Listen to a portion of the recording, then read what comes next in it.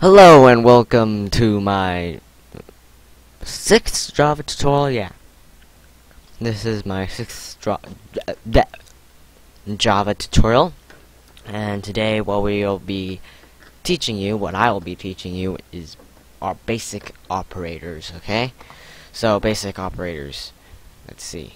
Here's a um a, operators are basically things that you know test or change a number or a variable basically okay?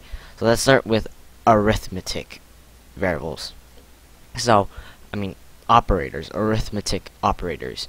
So basically arithmetic operators are basically just like you know in algebra like uh, algebra a plus b equals c plus make says that like a plus b put them together and it'll be equal to c. It is actually exactly the same in programming in Java, okay? So, um, plus adds the values, okay? Um, for example, you have A and B. You put plus in the middle, A plus B. It will plus them together, okay? That, that, that's what happens, okay? And subtracts values, minus. Same thing, but minuses. Multiply, same thing, but multiplies. And divide, yeah, dashes divide and multiply star. That's different to like your normal math where multiply is an x and divide is like a line and two dots top and under it. That's divides.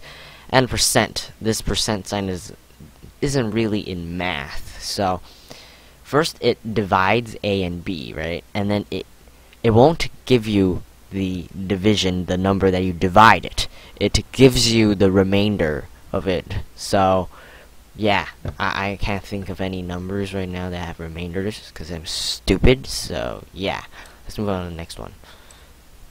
Wait, move it.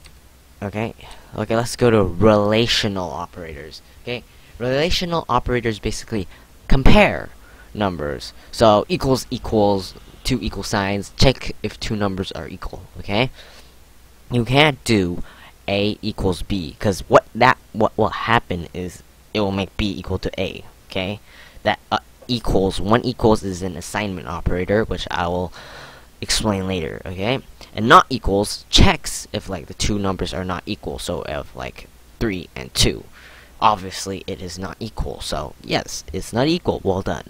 Okay, bigger and greater than you guys probably know, and then uh bigger and greater than and no greater and equal to and smaller and greater and equal to uh, the same thing, but normally in math you I just add a line under the the the crocodile signs, you know, the crocodiles. You add equals because you can't really type that those signs. They're um you have to like insert them. Like it's pretty hard. It's not on your keyboard, so this because programmers are lazy, they just put equal signs next to it. So yeah the assignment operator. You might notice there's not many things here. There are a lot of assignment operators, but I don't think we really need to know them right now. All we need to do know is the equal sign. Okay, that's all we need to know. So, okay, I've I've mentioned this before. This is the equal sign is an assignment operator. Basically, makes the left side equal to the right. Okay, I have to emphasize left side equal to the right. Okay. So the equal sign just makes, okay, A plus B, uh, A equals B. It makes A and puts B, the value, okay, so 1 equals 2. It makes 1 to 2. So now the uh, 1 is now 2. So that's basically what the equal sign is.